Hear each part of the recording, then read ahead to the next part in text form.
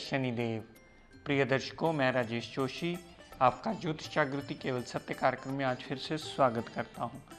प्रिय दर्शकों, जैसा कि आप जानते हैं, हमारी चर्चा चल रही है लग्नेश और तीसरे भाव के स्वामी को लेकर के कि इन दोनों ग्रहों की युति हमें क्या क्या कैसा कैसा फल किन किन भावों में देती है कल तक मेरी कोशिश रही कि आपको विस्तृत रूप से बता पाऊँ कि सिंह लगन की कुंडली में लग्नेश सूर्य देवता जो कि एक योग कारक ग्रह बनते हैं, और शुक्राचार्य, जो त्रितेश और दशमेश हैं, जो कि सिंह लगन की कुंडली में एक समग्रह बनते हैं और अपनी प्लेसमेंट के मुताबिक अच्छा या बुरा फल हमें देते हैं।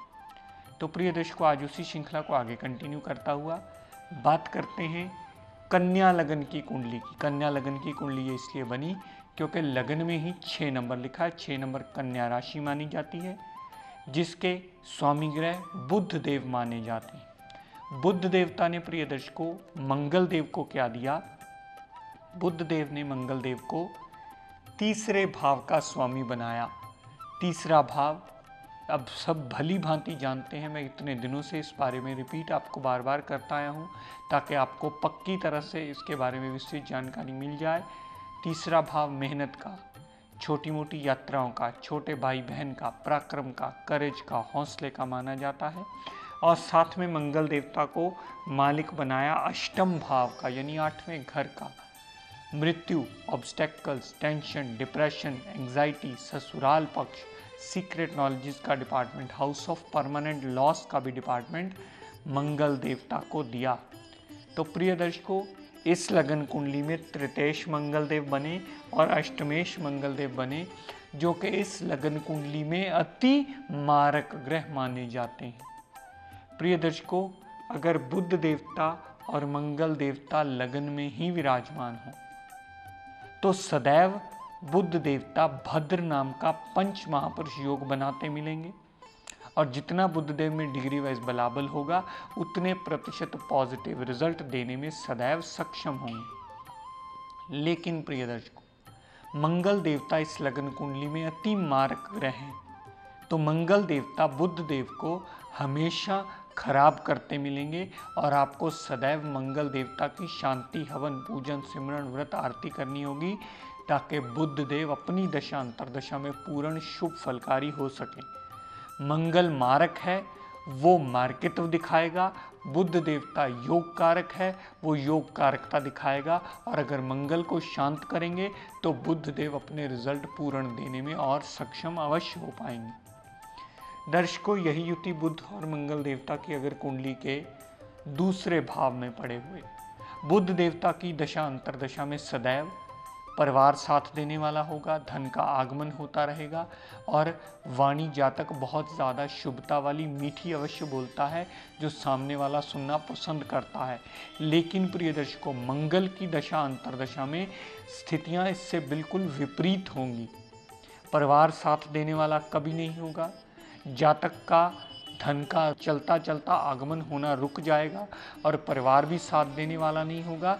और जातक की वाणी जो है, मंगल की दशा, अंतरदशा में अनशस्त्री उग्र होगी और सामने वाला सुनना उसकी वाणी कभी पसंद ही नहीं करेगा मंगल की दशा, अंतरदशा में। तो मेरे कहने का तात्पर्य प्रिय दर्शकों, सिर्फ़ इतना। कि मंगल की दशा, अंतरदशा सदैव आपको अशुभता के फल देती मिलेगी उसी भाव में। और बुद्ध देवता की दशा, अंतरदशा सदैव अपनी डिग्री वाइज क्षमता के मुताबिक आपको पॉजिटिव फल ही देती मिलेगी। दर्शकों, मान लीजिए यही युति मंगल और बुद्ध देवता की कुंडली के चौथे भाव में विराजमान हो। चौथे भाव में प्रिय दर्शकों, बुद्ध देवता की दशा, अंतरदशा में माता, गाड़ी, भूमि, वाहन, मकान, सारी सुख सुविधाएँ लेने में बुद्ध देवता की दशांतरा सदैव उस जातक की मदद करती मिलेगी। बुद्ध देवता की दशांतर दशा में अगर जातक ये चीज़ें लेनी चाहेगा, उसे वो देने में सदैव सहायता करती मिलेंगी। लेकिन बिल्कुल इससे विपरीत प्रिय दर्शकों मंगल की दशा अंतरदशा जब भी चलेगी, माता को कष्ट, माता से कष्ट, माता से मनमुटाव होना, माता की हेल्थ प्रॉब्लम्स होना, माता को अननेसेसरी ऑब्स्टेकल्स आना गाड़ी, भूमि, वाहन, मकान अगर लेने वाला हुआ तो वो भी एक कष्टकारी स्थिति में आ जाता। है जातक गाड़ी, भूमि, वाहन लेने के लिए बहुत ज़्यादा खपता है, लेकिन मंगल की दशांतरा में जल्दी वो कभी नहीं मिल पाती। यहाँ से बुद्ध देव ने जितनी दृष्टि कामकाज पर डाली तो बुद्ध की दशांतरा में कामकाज में सदैव वृद्धि होती मिलेगी। इंक्रीमेंट प्रमोशन कामकाज में एडिशन ये सारी चीज़ों में एडवांटेज होता मिलेगा। लेकिन मंगल की दशा अंतर दशा में सदैव दशम भाव संबंधी टोटली नेगेटिव रिज़ल्ट होते मिलेंगे, अशुभता के रिज़ल्ट मिलेंगे, आपका चलता चलता काम बंद होने की कगार पर भी आ सकता। है आपके डेली वेजेस को बुरी तरह हिट करके मंगल देवता, आपके कामकाज में नित्य नवी परेशानी आपको देते ही मिलेंगे, क्योंकि मंगल एक मारक ग्रह है। दर्शकों यही युति अगर कुंडली के पंचम भाव में पड़ी हुई। त्रिकोण का स्वामी बुद्धदेव त्रिकोण में ही आ गए तो बुद्धदेव जातक को कैलकुलेटिव माइंड बनाएँगे। लव मास में कामयाबी देंगे अनसर्टेन गेंस देंगे। माइंड मेमोरी विल पार को स्ट्रॉन्ग करके स्ट्रेंथ दे करके कॉन्फिडेंस लेवल में इंप्रूवमेंट देंगे। अनसर्टेन गेम्स भी करवाएँगे। लेकिन प्रिय दर्शकों, मंगल देवता बिल्कुल इससे विपरीत स्थितियाँ क्रिएट करेंगे। हालाँकि मंगलदेव यहाँ उच्च के हो जाते हैं और किसी ने कह दिया, आपके तो जी बल्ले बल्ले मंगलदेव उच्च के हैं, लेकिन वो ये देखना भूल जाए कि आपका मृत्यु स्थान का मालिक उच्च का हुआ है, एक मारक ग्रह उच्च का हुआ है। लव रोमांस में नाकामी अभी देगा। संतान को कष्ट आने का योग बनता है, संतान से कष्ट आने का योग बनता है। अगर जातक दिक्कत परेशानी में मंगल की वजह से इस प्रोग्राम के माध्यम से आप जान चुके हैं कि मंगल एक मारक है तो मंगल की दशा अंतरा किसी भी जातक की चल रही हो, वो स्वयं अपनी पत्री उठा के देख सकता है। मंगल की दशा अंतरदशा सदैव उच्च का होते हुए उच्च के कष्ट देगा। लॉस करने का योग बना देता है, लवरमास में नाकामयाबी देता है, माइंड अग्रेसिव कर देता है। जातक की विल पार और मेमोरी पार और कॉन्फिडेंस लेवल में नेगेटिव रिज़ल्ट ही देता मिलता है। तो मंगल देव पंचम भाव में उच्च के पड़े सदैव अशुभता के रिज़ल्ट देंगे। और बुद्ध देवता जो योग कारक ग्रह हैं, कुंडली के लगन लॉर्ड हैं, त्रिकोण के स्वामी त्रिकोण में आए हैं, सदैव अपनी दशा अंतर दशा में अपनी डिग्री वाइज बलाबल और क्षमता के मुताबिक अच्छे फल देते ही मिलेंगे। दर्शकों, यही मंगल बुद्ध और कुंडली के सप्तम भाव में विराजमान हो। यहाँ बुद्ध देव नीच अवस्था के हो जाते हैं। बुद्ध देव का नीच अवस्था में होना सदैव अशुभ फलकारी होता है। दाम्पत्य सुख में कला क्लेश मिटता है पार्टनरशिप कभी नहीं हो पाती और डेली वेजेस में भी नित्य नवी प्रॉब्लम्स ऑब्स्टेकल्स खड़ी ही मिलती हैं।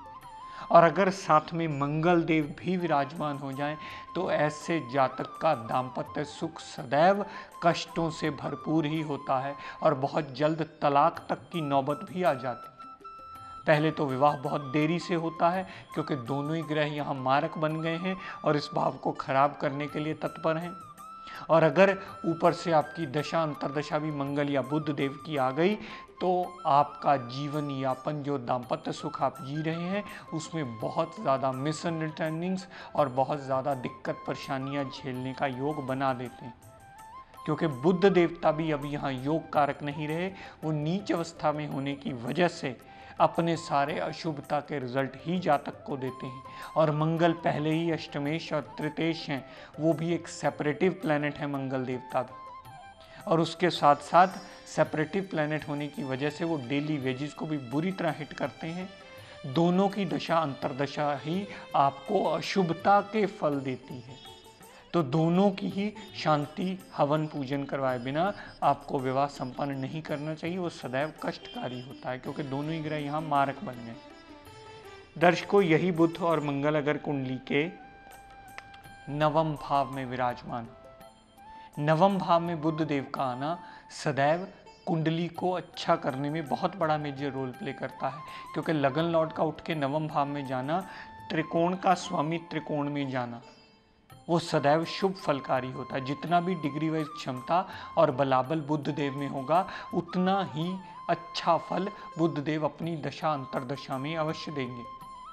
पिता से बहुत ज़्यादा लगाव होगा, जातक धर्म को मानने वाला होगा, विदेश यात्रा करने वाला होगा, धार्मिक विदेश यात्रा करने में भी बुद्ध देव सदैव आपको सहायता करते ही मिलेंगे।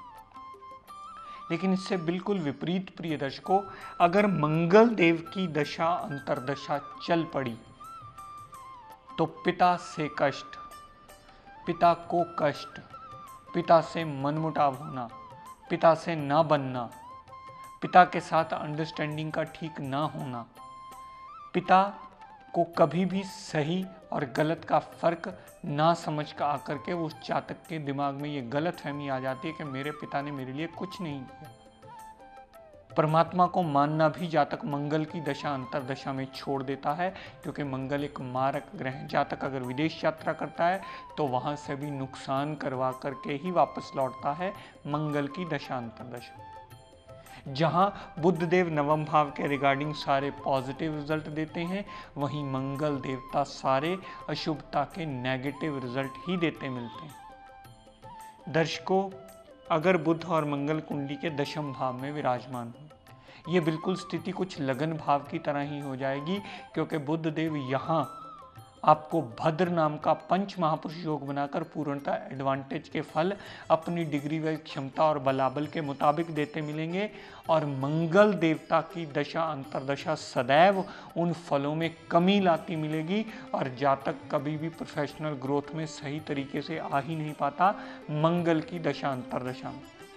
मंगल की दशा, अंतरदशा सदैव जातक के प्रोफेशन में ऑब्स्टेकल्स देती मिलती है टेंशन रुकावटें।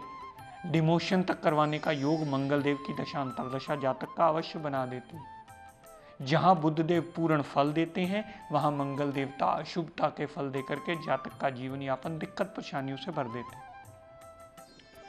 दर्शकों, यही मंगल और बुद्ध देवता अगर कुंडली के ग्यारहवें भाव में पड़े हुए मंगल देवता यहाँ नीच अवस्था के हो जाते हैं। एक तो मारक ग्रह ऊपर से नीच अवस्था में आ गया।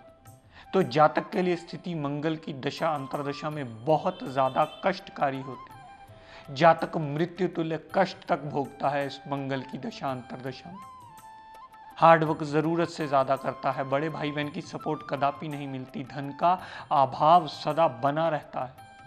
धन का आगमन होता ही नहीं है। छोटी मोटी हेल्थ प्रॉब्लम लगी ही रहती हैं। कोई भी काम करने की कोशिश जातक करता है तो मंगल की दशा, अंतरदशा ऑब्स्टेकल्स पहले ही उसके आगे लाकर खड़ा कर देती है। लेकिन बुद्ध की दशा अंतरदशा इससे बिल्कुल विपरीत रिज़ल्ट देती है। बुद्ध की दशा अंतरदशा, क्योंकि बुद्ध एक योग कारक ग्रह है। बुद्ध की दशा अंतरदशा सदैव अच्छा फल देती है, धन का आगमन करवाती है, बड़े भाई बहन की सपोर्ट दिलवाती है। अगर आपकी कोई भी इच्छा हो, उसे पूरी करने में बुद्धदेव सदैव सहायता करते मिलते हैं। जहाँ बुद्धदेव पूर्ण एडवांटेज देते मिलते हैं ग्यारहवें भाव में, अपनी डिग्री व क्षमता और बलाबल के मुताबिक, वहीं मंगलदेव पूर्णता डिस एडवांटेज देते मिलते हैं अपनी दशा अंतरदशा में।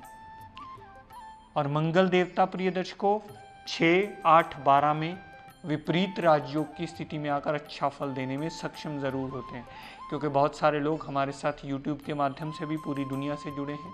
वो यूट्यूब के माध्यम से जुड़ने की वजह से हमसे विपरीत राज्यों की डेफिनेशन पूछते हैं। तो ये बता दूँ कि छः आठ बारह का मालिक अगर छः आठ बारह में पड़ा होगा तो वो अच्छे रिज़ल्ट देने में बाध्य होता है। अगर उसमें डिग्री व क्षमता होगी, इसकी कंडीशंस आप प्रॉपर तरीके से नोट कर लीजिए।